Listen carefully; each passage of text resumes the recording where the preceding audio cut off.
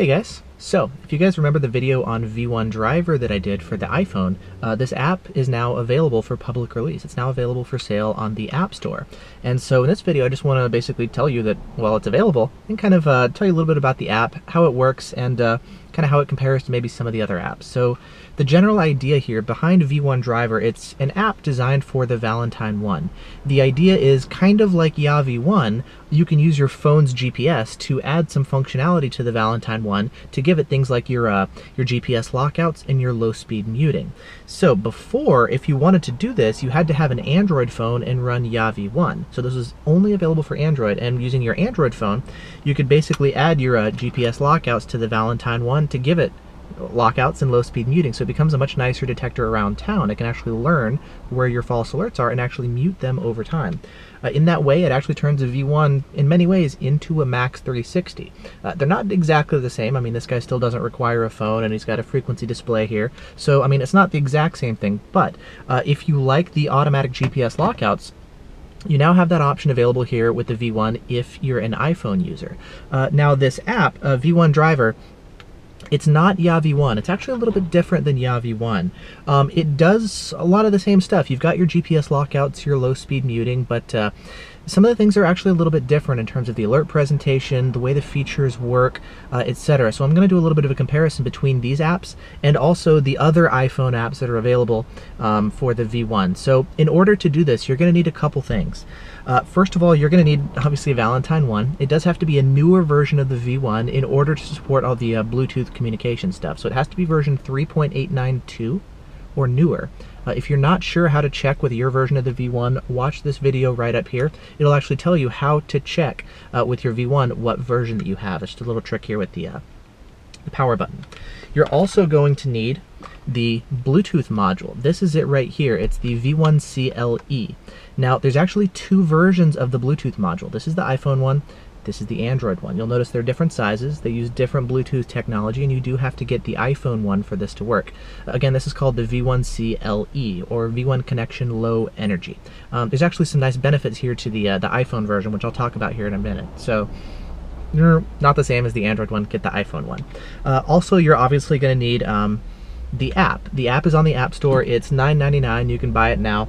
Um, it's going to work for iPhones. Uh, you do need to have an iPhone for this to work. If you have an iPod, it's not going to work properly because an iPod doesn't have a GPS, and you need a GPS for the lockouts and stuff. So uh, you're going to need an iPhone. Um, it can be a non-activated iPhone. It doesn't need cell service or data in order to work. So even if you have like an old iPhone that you're not using, or even just your normal one day to day, it works really well here. So um, the idea with this one is, again, once you pair it with your V1, you put all this together, uh, it's going to turn your V1 into a better detector for the city. So you're going to get your GPS lockouts, you're going to get your low speed muting. Uh, you'll get a frequency display here, so it'll actually tell you the frequency of the signal that you're getting. Uh, you'll get your voice alerts if you want to hear if it's 34.7 or 35.5. So it adds a lot of really cool functionality, and I like it a lot one of the things that I actually like best about it, and I like this uh, even a little bit better than um, YaV1, is not actually the app itself, but the way that uh, Valentine has actually done their Bluetooth modules. Uh, remember how I mentioned this was called the V1C and this is the V1C LE? Well, that's actually an important difference. You see, uh, with the V1C LE, that's the low energy one, it's a different communications protocol, and there's two main benefits to it. Number one, it's low energy, so it takes less power from your phone, which is nice, so it saves battery power. The second thing, and probably the more important thing, is the way it connects. You see, when you run um, V1C or V1 driver here on your iPhone, you just pretty much have to run it once, and as long as you don't reboot your phone or whatever, it's just going to connect in the background automatically every time. With uh, YaV1, that's not the case. You see, when this guy runs, you're actually going to have to use another app. We usually use Llama, and Llama you can use to actually tell it to pretty much um, automate the V1 stuff. So you can say, you know, when I connect to my car, when the phone gets battery power, or I connect to my car's Bluetooth or whatever, I want you to launch YaV1. So you do have to use another app to kind of automate this process. Um, with V1 driver, you don't actually have to do that. Uh, this was also a little bit different than like Stealth Assist, for example, or even uh, V1 connection. With this guy, it can connect really well in the background. So as soon as you turn on your car, this guy connects, this guy connects with the Bluetooth module, and you're up and running. It's awesome. So as far as a background app, it actually works really, really well in the background. Now, when you're actually using the app, the way it'll work, um, let me go ahead and show you a quick example of a signal. So I've got it set up right here. Uh, when we trigger a K-band signal, here it said 24.1, so it tells us the frequency.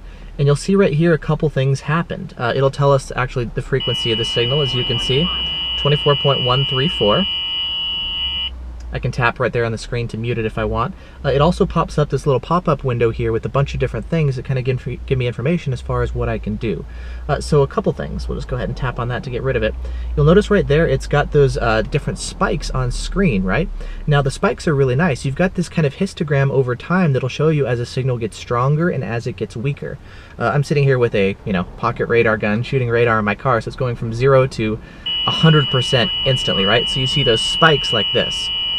Um, in practice, you'll actually see the ramp up and ramp down, so you can actually watch the signal kind of plotted over time, which is super helpful.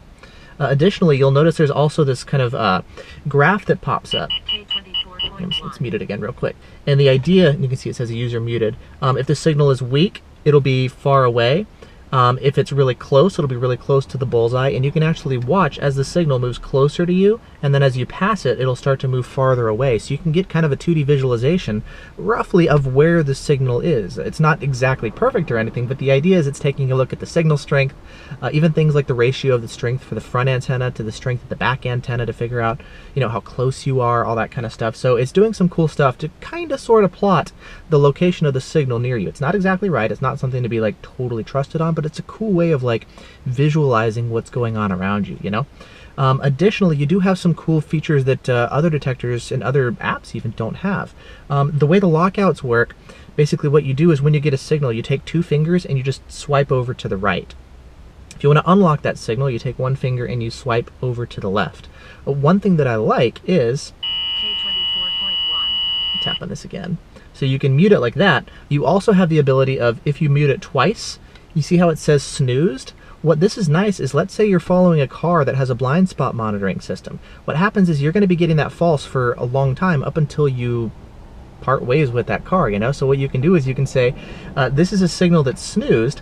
If I see it again, see how it automatically muted it? It didn't lock it out for me, but it says I'm driving with this car for a while. If I keep seeing this signal, keep muting it for a while until uh, go away. I don't know exactly how long the snooze is. It's probably in the settings or something, but the idea is uh, you're going to be basically saying this signal is a false alert. I want you to snooze for however long it is until the signal goes away and then return back to normal. So it's a way to actually mute blind spot falses that the V1 can't figure out without relying on lockouts because lockouts don't help for that, you know? So it's actually a really cool feature, this snooze capability. Um, additionally, you have the ability to actually save these alerts. So if you get a cool encounter and you want to maybe uh, save that and maybe overlay it into your video, into a dash cam encounter, something you can do is if you swipe up.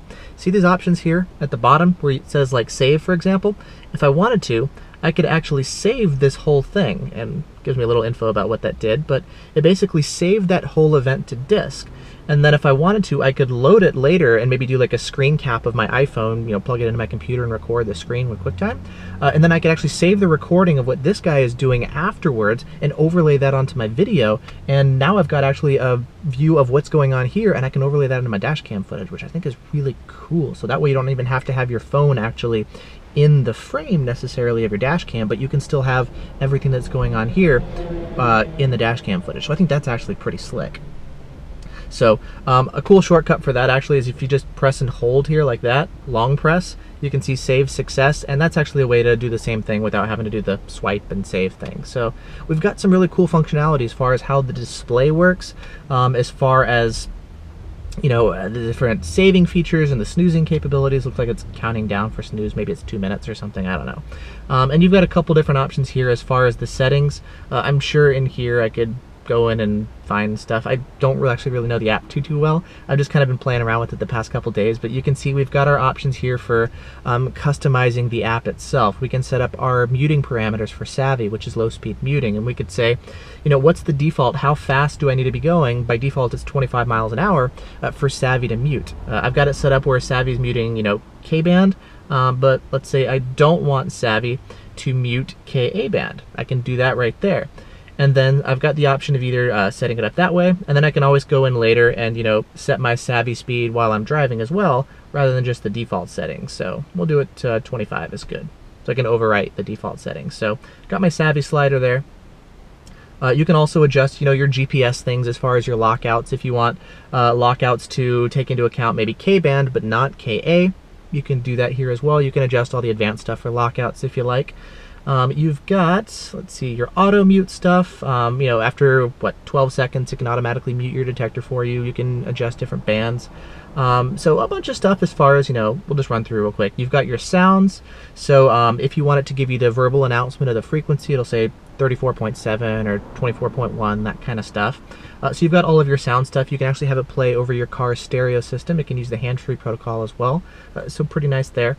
Um, let's see, presentation settings as far as orientation of your map, all that kind of stuff. Uh, iCloud, this is kind of cool. Um, once you get everything programmed and set up the way you want here, you can actually back up all of your settings to the cloud. So let's say I like what I've got. I can just do backup to the cloud and I say yes. And then there we go. It backed up all of my stuff to the cloud. So if I ever format my phone or get a different phone or uninstall and reinstall the app or whatever, I can just then do a restore from the cloud and then I get all my settings back, which is pretty cool, you know? What else have we got here? Uh, Bluetooth settings. Do we want, you know, automatically to run Bluetooth stuff? Yes. Uh, hardware settings. Do you want it to automatically put your V1 into dark mode? You can if you want, or not. Um, and then just some other debug stuff. And then uh, the demo's pretty slick. The demo will actually show you um, an encounter and kind of remember the recording stuff that I mentioned. It's basically a saved recording, and then you'll actually get to see an alert here um, actually play through time. So you'll see like as it's gonna then detect the signal, you can actually see the signal ramp up and then ramp down.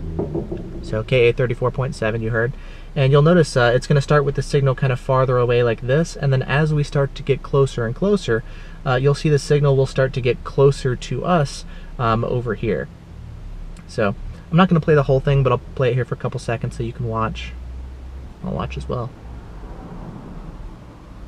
So slowly get closer. You can see it's got the green and the red bar. That's basically telling us uh, if it's red, it means the signal is actually ramping up and getting closer.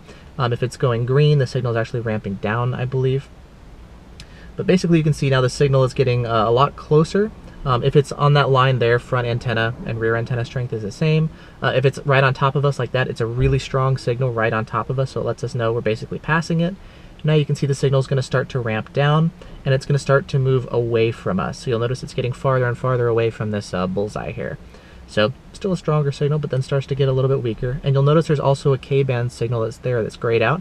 That gray uh, K-band signal is actually a locked out signal. So uh, we've got multiple signals that we're able to view.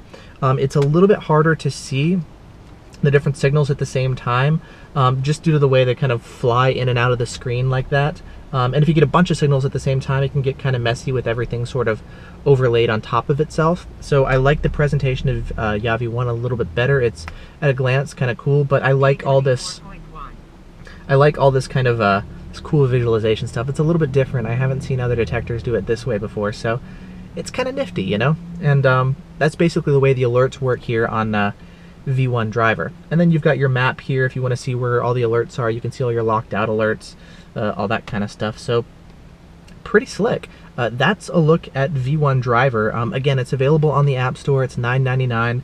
Um, I would definitely recommend it. Uh, let's also talk about how it compares to YaV1, because that's obviously going to be like a big comparison, right?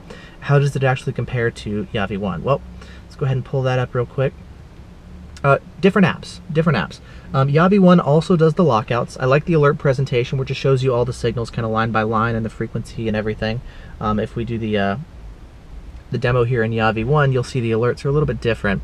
And uh, I kind of prefer that signal. I'm used to it, you know, but it'll show you the frequency and the strength and the direction and everything. So at a glance, I find this a little bit easier. But uh, you've got, again, different ways of doing all this, you know. Um, as far as the, I think the main difference that we're going to see is actually um, the alert presentation, of course, is different. This guy actually works better in the background because of the stuff that I mentioned with the V1CLE, the low energy. It actually auto connects in the background better, so it makes it a more automated experience running with the V1. You don't have to worry so much about launching the app manually when you first get in the car. This guy actually does a better job than the Android one uh, does to connect to the V1 due to the whole uh, design of the Bluetooth module itself. It's not an Android versus iPhone thing. It's actually uh, a V1C LE versus a V1C thing. So uh, I actually like what they did with the iPhone version. They could, in theory, do the exact same thing with the Android one, but Valentine chose not to do that. So that's a difference there. Um, how does this guy compare to the other apps that are out there? Well, there's two main other apps that uh, would be good for the iPhone. The first one is the V1 Connection. That's the app uh, from Valentine themselves. V1 connection. This is what you're going to use to actually program your V1. Whoops, I unplugged it, so it's not going to connect right now. But um, uh, V1 driver actually doesn't allow you to program your V1. So if you want to program basically you know, set up uh, your junk K-Fighter, your K-band filtering, or if you want to do KA guard off, or program your custom sweeps.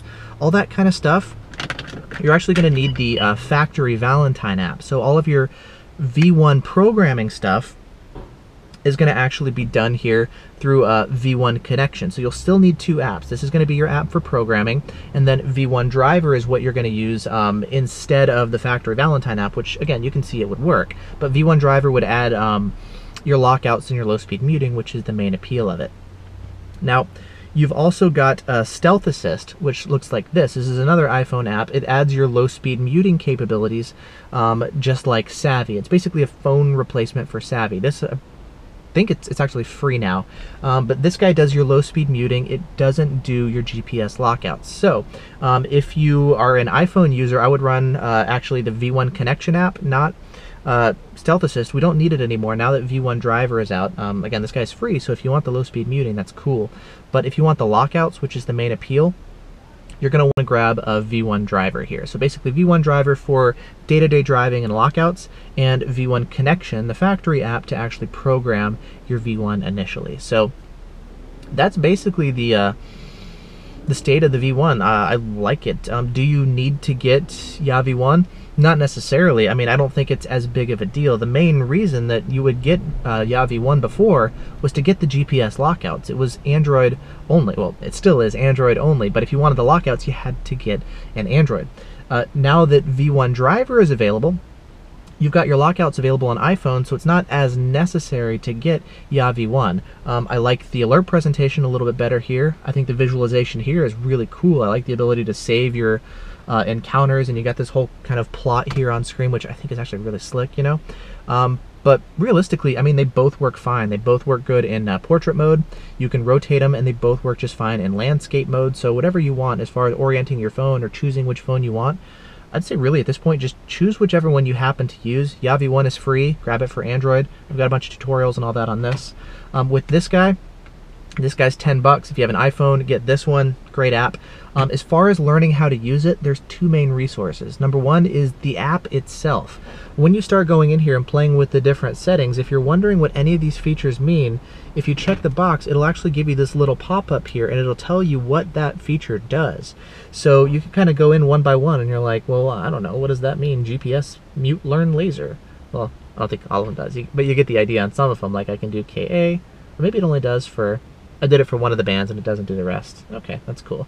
So if I wanted to do sound and notify and I wonder what does sound voice use HFP and it'll actually explain the hands-free protocol and all that kind of stuff. So anyways, as you can see, you can go in here and it'll actually tell you um, what all these features do. So the app itself is actually a great way to learn about the app because there's some nice tool tips that are built in like that. Uh, additionally, there's some really good stuff in the uh, V1 driver discussion, uh, discussion thread on RDF. I'll put a link to that as well um, in the video description, and that's this huge thread at this point, and it's basically a place where uh, all of us can go in and discuss the app. It was originally started when the app came out for beta, so there's been a lot of discussion at this point. This app is now available for public release and we're still using the same thread, so there's a ton of discussion.